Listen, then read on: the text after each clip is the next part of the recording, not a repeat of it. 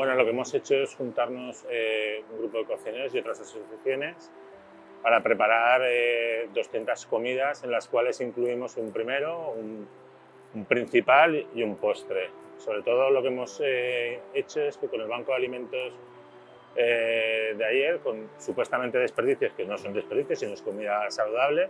Hemos hecho un menú para que gente que lo está pasando en, en estos momentos del COVID mal, pues puedan tener una, una alimentación buena. Para nosotros lo más importante es, apoyar a, gente que está pasándolo mal, porque decir, no, no, no, es gusto de nadie tener que venir a, a, tener que pedir alimentos y si nosotros podemos poner un granito de arena, estamos encantados.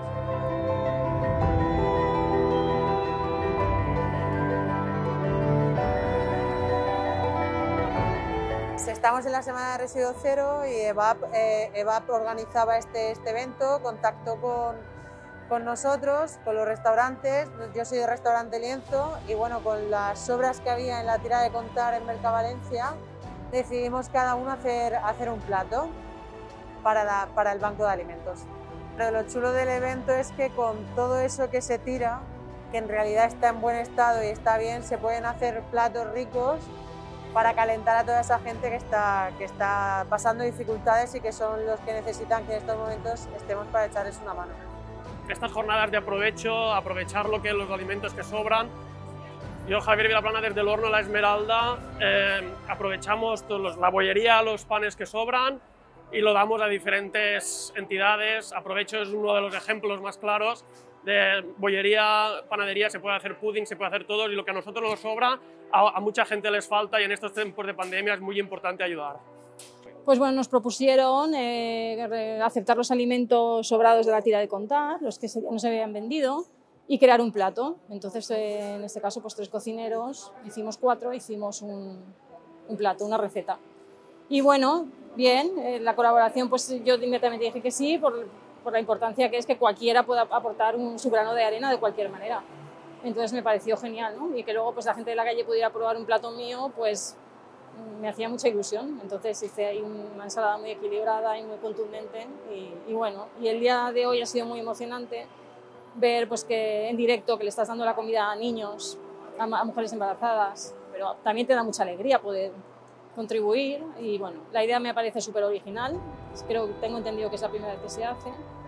y me gustaría animar a la gente que se sumara, porque hoy me ha tocado a mí, pues oye, la próxima vez que lo hago a otro y vamos rodando y entre todos vamos ayudando. Volíem fer com una miqueta de festa de replegar de productes eh, de la terra per a, per a cuinar-ho per a la gent més marginal. Bueno, ficarem en marxa, després llevarem permís a València i ha sigut un acte molt bonic i que jo el que vull és que això siga com un inici d'una relació entre les empreses, el Banc d'Aliments i el València per a fer aquest tipus d'actes perquè la gent en aquests moments pugui menjar. Tinc que aprofitar per a donar les gràcies tant al president de la València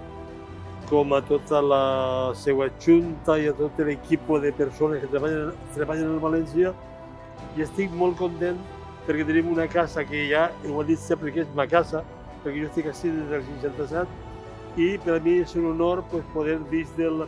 lo que és el València, el que és l'entitat de València, contribuir a mitigar la gent, o sigui, la fam, a aquesta gent que tan malament està passant. Entonces és un honor i agraeix a tot el món aquesta mostra de carinyo i apoyo perquè estem fent algo molt important, que és que avui el Mestalla siga ja el camp més solidari d'Europa en diferència.